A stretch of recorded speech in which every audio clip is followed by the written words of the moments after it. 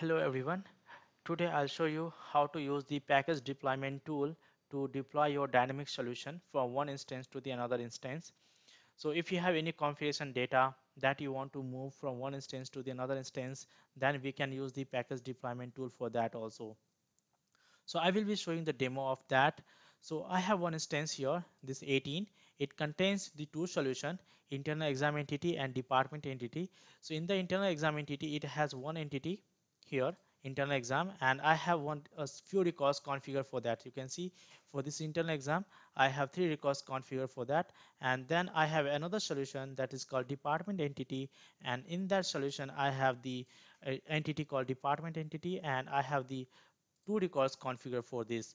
So I will be moving this uh, two and this three records total five records from my source instance 18 to the target instance. This is the my target instance. And here you can see th these solutions are not present. These solutions are not present here. So i will be deploying those solutions here and along with those five records which are configured against those entity.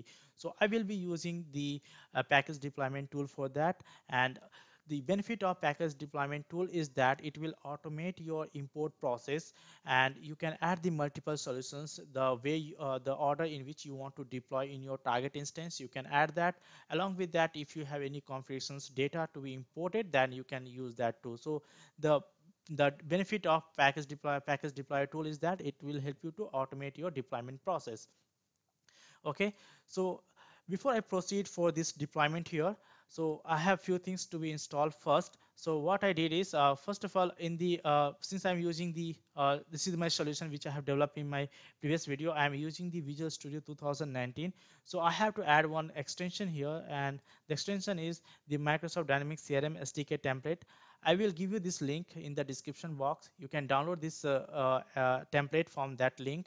And once you install that, it will add the extension to your uh, Visual Studio here. So you can see I have this extension installed here this one so i will be using this extension to create the uh, sdk template package template and we'll create the project for that along with that uh, you have to install the uh, tools also. So those tools uh, config uh, configuration ma migration and this the solution deployment those tools you can find the you can find the link from here this one. And here we have the PowerShell script. You have to deploy you have to run this Power, PowerShell script to your PowerShell uh, uh, command window. And you have to go to the particular suppose I want to deploy though I want to uh, download those tools over here in this folder then I have to I have to go to this directory through my PowerShell. And then I have to paste this uh, PowerShell uh, script here and then enter. So then those script, those tools, it will be downloaded through this scripts and it will be, it will have the folder structure like this. So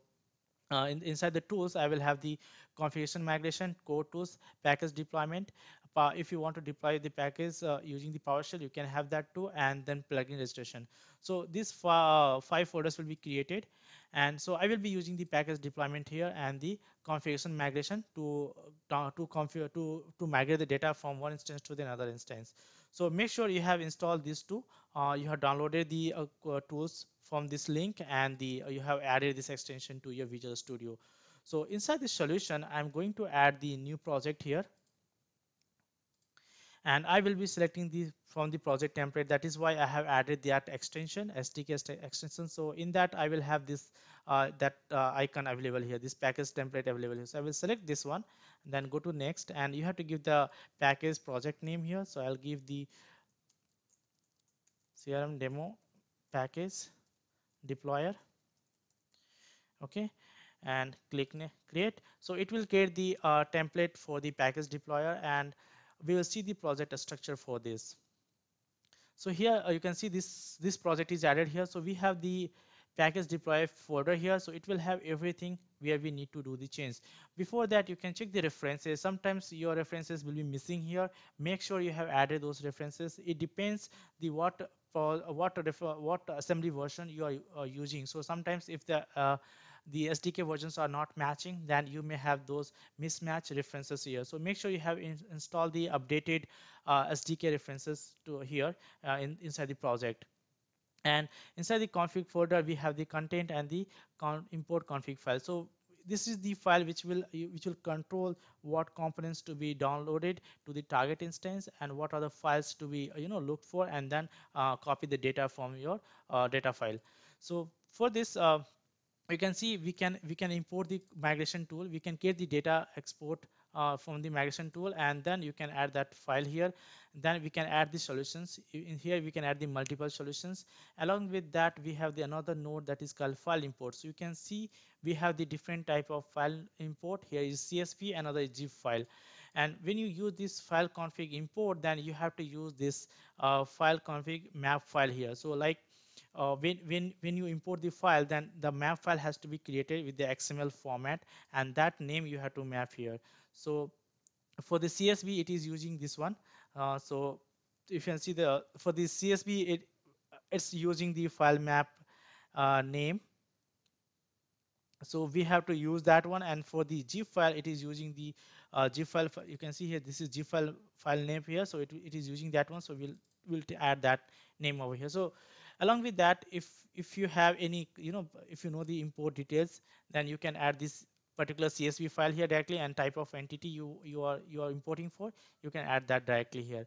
So it is pretty simple to configure and here as per my requirement what i'm going to do now is i i'm having uh, these two solutions and i have two entity over here right? So first of all uh, what i'll do uh, i will export these two solution so I'll export this here. I will be using the unma unmanaged solution, not the managed. So If you want, you can export it as a managed solution also. So I will be using the unmanaged solution.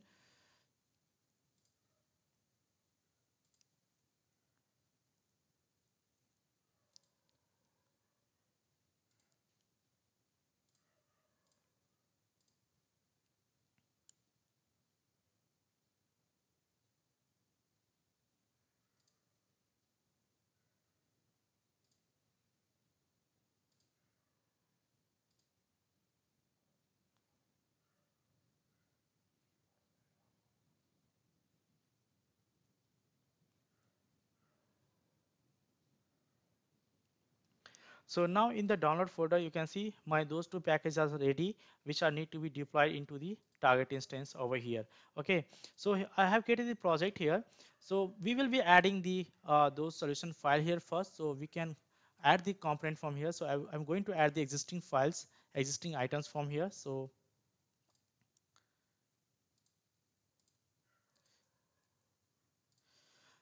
so I have added here these two uh, files over here. So make sure you have add enable those two files for the copy or uh, here we have the do not copy. You have to make this to always copy. What will happen when you build this project it will have the bin folder and inside the debug uh, inside the debug folder and inside the bin these two packages will be added there.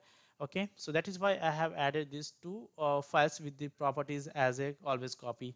Okay Next is uh, we will be modifying this uh, uh, import config XML file here. So if you want to import the data, I will add here, but later on, let's just add the solution which I want to import here first. So this is the my first I want to import the department here. So I'll copy this name zip file here.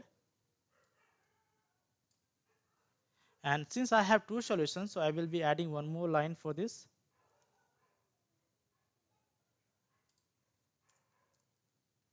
And this is my another solution name.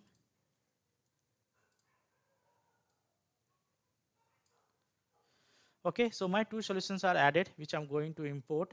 And then uh, here I, I don't have any file special file to be csv file which i'm looking for. If you have then you can use this uh, node here to import those. Okay so i don't have that one so i'm going to remove this node. So i'm going to remove this node. Otherwise i can comment it. So let me comment this and inside the zip import details even i'm not i don't have this any csv or text file so i'm going to uh, re uh, remove this also. Okay now it is removed. And here uh, i don't have since i'm not using any this file type so i can i can i can i can remove this one also. So i'm going to remove this also here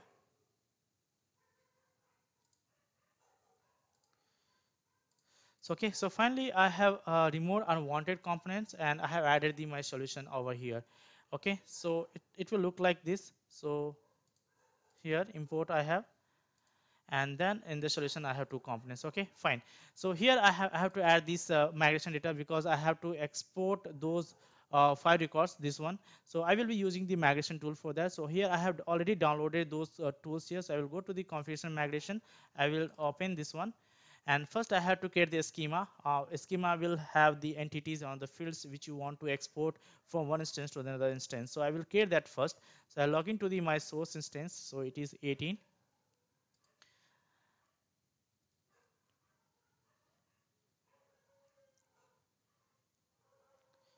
okay so I have login here. So I will have the solution which I have created in the uh, in my source instance. So those uh, um, unmanaged solutions it will display it will display for me here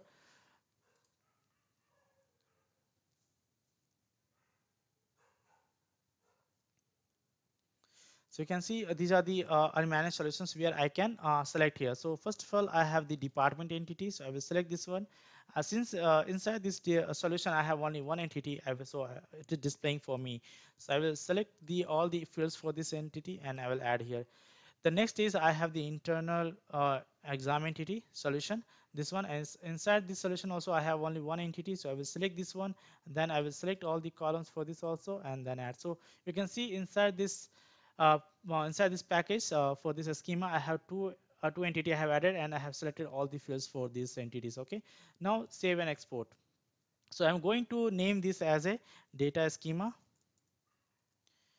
okay it will save this as a xml file. So once it is saved then it will ask you if you want to create the ex export data file also. So yes i want to create that. So that a schema will be selected and i will be adding the uh, i will be saving those data with the name like data something data you can add that one data.zip file. So it will save the, those uh, records as a data.zip here. So it will export those data into this file those five records which we have here this one and these two records it will be added into this data.g file. So this this file we have to link to our project here to this migration uh, crm migration uh, import file here. So okay it is exported. Now i can close this. Okay so now uh, i have to add those components of from here. So i'll copy this add the existing items so this time I will be adding this schema and the data. And for these two components also, I will be put, I will be changing this copy to output directory to always copy always. Okay. So now these four components are with copy always. So what will happen when we build this solution? Then this will have the uh, this this files will be copied to the bin folder. Okay. So now I have added now uh, and the changes to the config file is also done uh, sorry it is not done. I have to add this data file here. So it is uh, data dot zip. You can make this as a true here. Since we are going to use this so save and we now we are going to build this.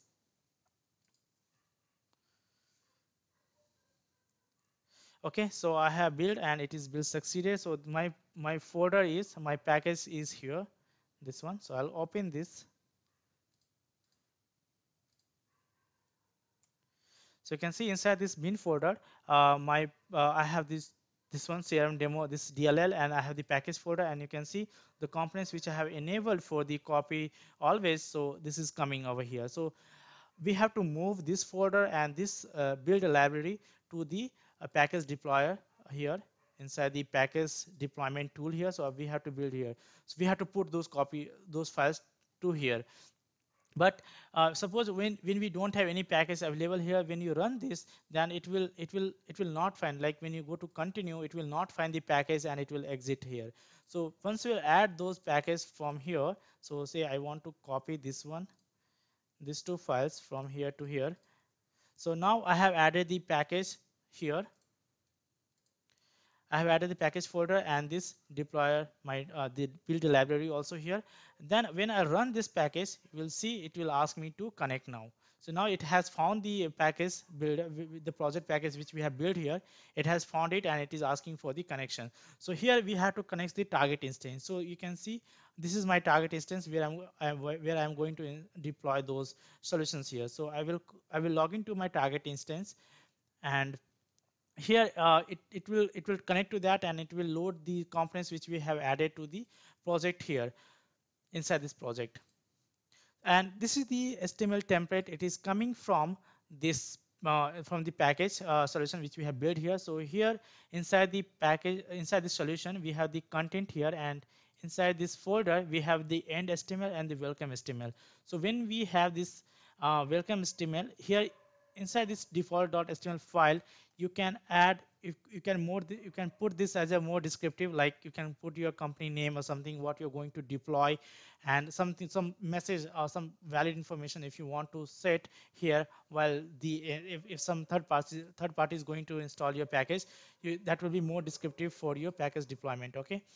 And this is for the end like once the package is deployed and if you want to use that one in your uh, to display some special message to the uh, deployer then you can use you can you can add more descriptive uh, HTML file here and you can edit this one if you want.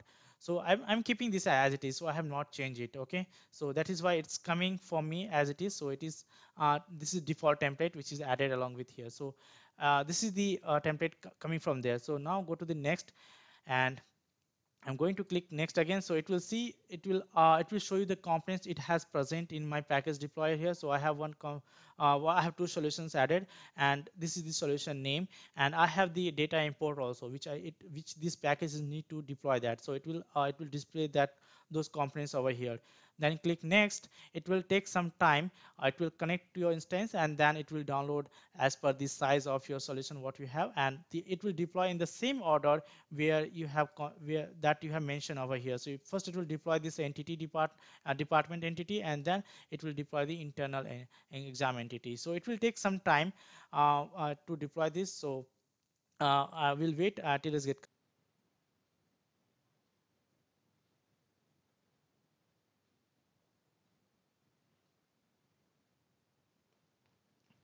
now you can see the my all the packages has been imported and it has imported those two and three. Those records also to my target instance. So i click next and finally at the end of this uh, completed when the package deployment is completed then i will have this one the end html file which is coming here.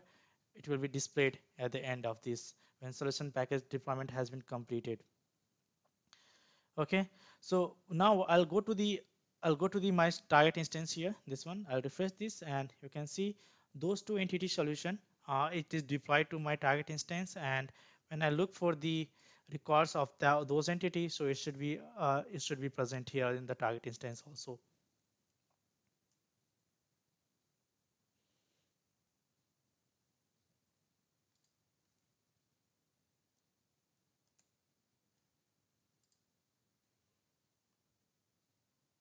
okay?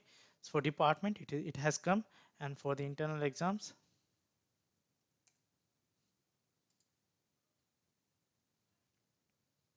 So it has come for that also. So now uh, the solution has been deployed correctly. So this is how you can use this uh, package deployer to automate your deployment process for the dynamics. So i hope now you are clear with the package deployment tool and you are familiar with how to use that. Okay? So and thank you for watching this video guys